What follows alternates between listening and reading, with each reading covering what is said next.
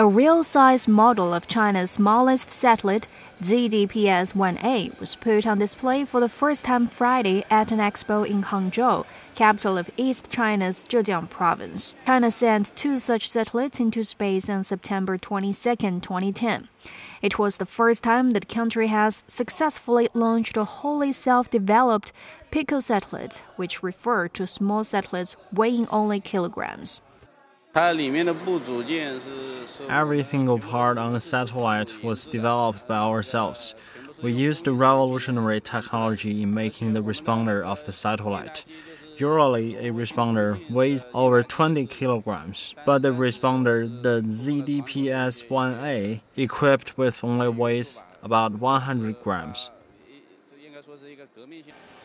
Weighing just 3.5 kilograms, the ZDPS 1A has a cube shape with a side length of 15 centimeters and requires a working power source of only 3.5 watts. Now, the two Pico satellites are traveling around the Earth once every 96 minutes, compared with a large satellite, which often takes at least 149 million US dollars to build. A Pico satellite only costs hundreds of thousands of dollars.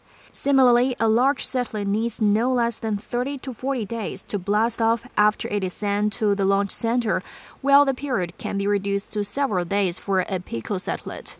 Due to such advantages, the Pico satellites are expected to play an important role in natural disaster reduction, such as providing emergency communications and surveying the disaster stricken areas.